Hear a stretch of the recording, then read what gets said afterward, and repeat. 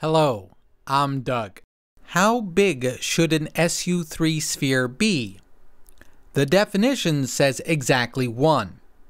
When there are two spheres, it might be that one is bigger than another due to differences in the manifold. To smoothly go from one sphere to another of a different size may involve diffeomorphisms of the manifold, the group diff M, which sounds like gravity.